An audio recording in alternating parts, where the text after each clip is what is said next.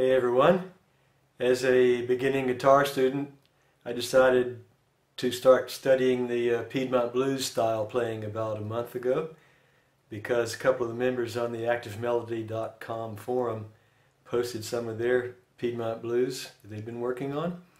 One of the first uh, groups that I ran into were these people called appropriately Piedmont Blues. If you haven't heard their work then uh, you're missing out.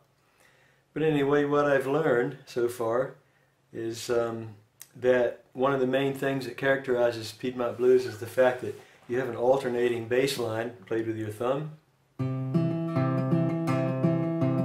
And it's often played in C because that allows you to use these uh, two notes out of C and then out of F and then out of G.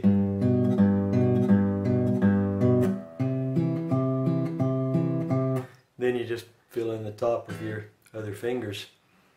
But um, the key of C is pretty easy to play, except that uh, several of the Piedmont blues songs have a point where they go um, into an E and then into an F,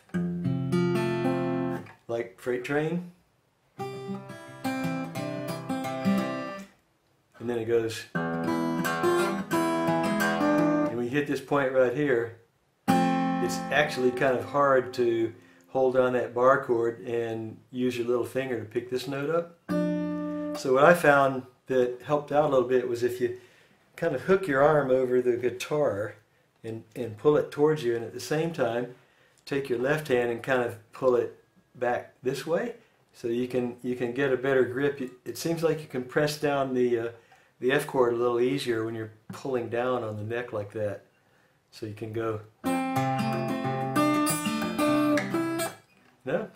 Anyway, catch you later.